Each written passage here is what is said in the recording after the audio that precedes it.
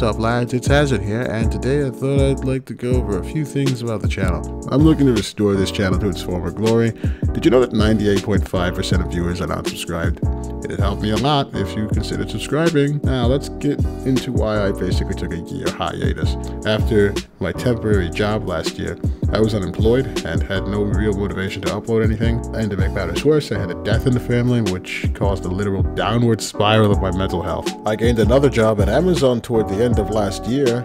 Now the job was fairly easy and the management was more than professional, but the workers were not. I just wouldn't want to be in a place where you essentially break your back for 10 hours a day on your feet just to unwind by talking shit about another person for no given reason. I have a firm stance of just not disrespecting people in public for you know not of what they are going through. So I quit. For those who are curious about what I do, I am an environmentalist at heart, serving in AmeriCorps as an urban farmer, and building a career around that over the course of nearly five years. Imagine going from working freely outdoors with loads of social interaction to being stuck in one spot for 10 hours straight, alone. It'd kill anybody inside. I only took that job in the first place so I could pay my bills somehow and get back to what I love doing most creating content for you wonderful people, no matter how many views I may get.